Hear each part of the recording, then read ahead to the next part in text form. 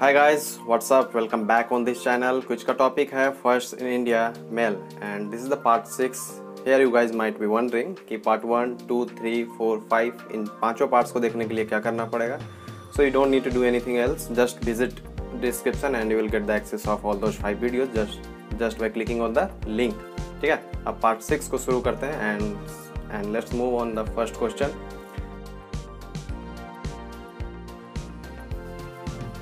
Question number one, What is the name of first Indian submarine?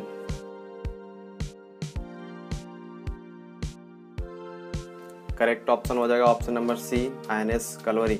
अब यहाँ पर हर हर जगह, हर ऑप्शन में आपको आई एन एस दिख रहा होगा। ये आई एन एस का मतलब क्या होता है? फुल फॉर्म क्या होता है? तो इसका मतलब हो जाता है सिंपली इंडियन नेवी शिप ठीक है? आई एन एस मतलब Indian navy ship let's move on the second question question number two who was the first Indian scientist to get Nobel prize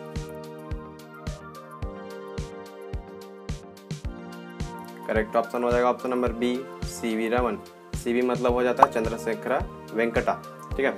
इस क्वेश्चन को आप ध्यान से देखो। इसमें लिखा फ़र्स्ट इंडियन साइंटिस्ट ठीक है? फ़र्स्ट इंडियन साइंटिस्ट में सी वी रमन वो पहले भारतीय वैज्ञानिक थे जिनको कि नोबेल पुरस्कार मिला। लेकिन अगर कहीं पर हो कि first Indian to get Nobel prize पहले भारतीय जिनको नोबेल पुरस्कार मिला हो तो वहाँ पर हो जाएगा रविंद्रनाथ टैगोर, ठीक है? वो पहले भारतीय थे टू गेट नोबेल प्राइज अब अगले क्वेश्चन पर मूव करते हैं। Question number three. First Indian to swim across the English Channel.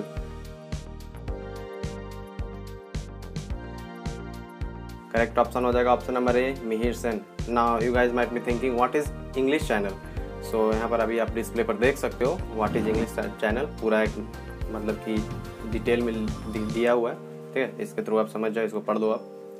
Question number four who was the first education minister of India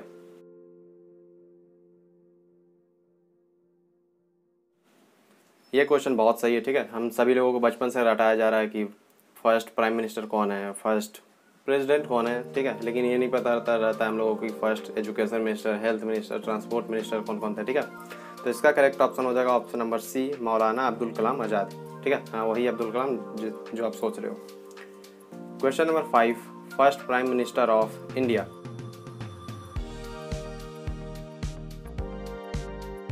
तो इसमें तो कुछ बताना ही नहीं है यार, ये तो सब लोग जानते ही होंगे, सब लोग जानते हैं, ठीक है? इंडिया में जितना आबादी है, सभी लोगों को ये पता ही होगा। इसका करेक्ट ऑप्शन इसीलिए जाए option number D Jawaharlal Nehru question number six first home minister of India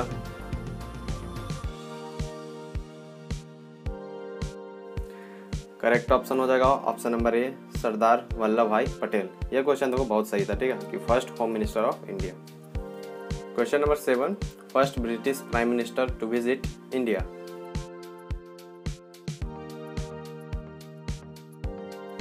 correct option हो जाएगा option number A Harold M C Millan ठीक है? Question number eight who was the first Indian to reach Antarctica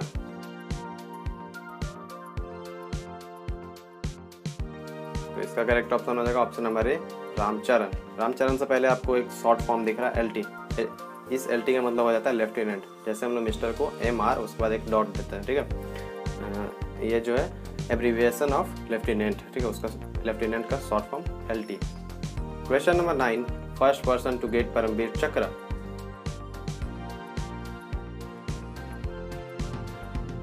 तो correct option हो जाएगा option number A major Somnath Sharma major लिखना मैं भूल गया था, ठीक है। परमवीर चक्र उन लोगों को मिलता है, वैसे सोल्जर्स को जो कि बहुत बहादुर होते हैं, जिन्होंने बहुत सेक्रीफाइस किया है, ठीक है। इस तरह की चीज़ों में आप ज़्यादा जानने के लिए गूगल विज़िट कर सकते हो।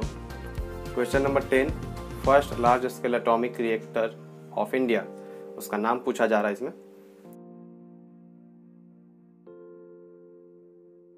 तो इसका करेक्ट ऑप्शन हो जाएगा ऑप्शन नंबर ए अप्सरा, ठीक है? First large scale atomic reactor of India इसका करेक्ट ऑप्शन है option number A Apsara. Total India में if I am not wrong तो इंडिया में अभी 22 एटॉमिक रिएक्टर्स हैं। तो आज के इस वीडियो में इतना ही रहेगा। If you guys like this video then do subscribe share with your friends so that other people can also see this. And thank you so much for watching this video and have a good day